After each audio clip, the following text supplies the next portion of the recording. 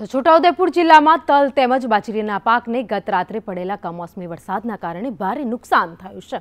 છોટાઉદેપુર જિલ્લાના સંખેડા તાલુકામાં ખેડૂતોએ ઉનાળા દરમિયાન બાજરી તેમજ તલની ખેતી કરી હતી.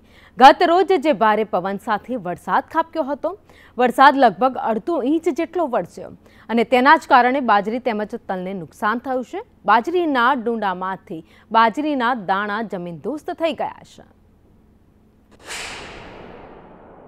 પવન સાથે વરસાદ આવ્યો હતો તેમાં અમારે ખેતીને ઘણું જ નુકસાન થયું છે. આ તલનો પાક તૈયાર થઈ ગયો હતો, કાપી, કાપેલો હતો. તે પણ વરસાદથી વાવાઝોડાથી બગડ્યું છે અને જે ઊભો માલ હતો અમારે, તે પણ વાવાઝોડાથી બધો નીચે ભોય લપેટ થઈ ગયો છે. માટે ઘણું જ અમારે ખેડૂતોને નુકસાન થવા પામેલ છે.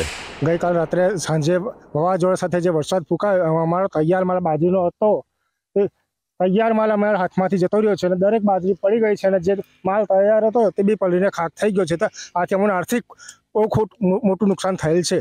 છોટાઉદેપુર જિલ્લામાં ગત રાત્રે ભારે પવનની સાથે વરસાદ પડ્યો તો લગભગ અડધો ઇંચ જેટલો વરસાદ પડ્યો છે. કમોસમી વરસાદને કારણે ખેતીમાં નુકસાન થયું છે. અત્યારના સંદેશ ન્યૂઝ પહોંચ્યું છે. આવા જ એક ખેતરની અંદર કે જ્યાં આગળ એક બાજુએ બાજરીની ખેતી થયેલી છે અને બીજી બાજુએ તલની ખેતી થયેલી છે. આજે આપ તસવીરમાં દ્રશ્ય જુઓ છો. એ બાજરીના ખેતરના દ્રશ્યો છે. બાજરીના જે તૈયાર થયેલા ડુંડા હતા નમી ગયેલા છે. ક્યાંક ક્યાંક ડુંડામાંથી બાજરી પણ નમી નીકળી ગયેલી છે. આ ઉપરાંત અહીંયા આગળ જે તલનો પાક જે કાપીને રાખવામાં આવ્યો હતો, તે પલરી ગયો છે.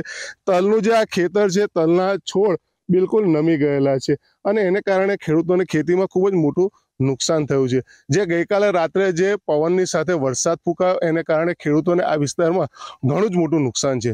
સંજય ભાટિયા, સંદેશ ન્યૂઝ છોટાઉદેપુર.